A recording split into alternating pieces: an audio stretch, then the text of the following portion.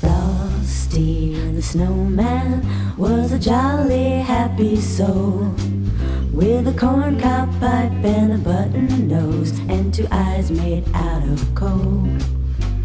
Frosty the snowman is a fairy tale, they say. Made of snow, but the children know how he came to life one day.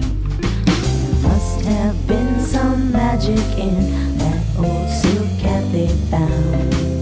For when they placed it on his head, he began to dance around. Oh, Frosty the snowman was alive as he could be. And the children say he could laugh and play just the same as you and me.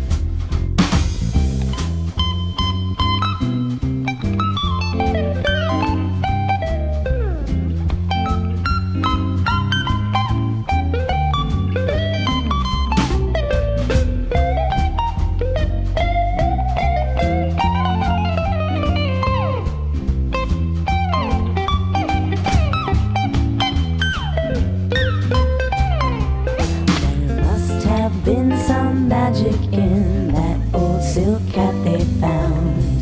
For when they placed it on his head, he began to dance around. Oh, Frosty, the snowman, knew the sun was hot that day. So he said, Let's run and we'll have some fun now before I melt away down to the village with a broomstick in his hand. square saying, Catch me if you can. He led them down the streets of town, right to the traffic cop. Then he only paused a moment when he heard him holler, Stop!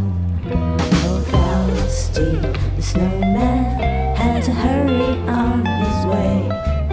But he waved goodbye, saying, Don't you cry, I'll be back again.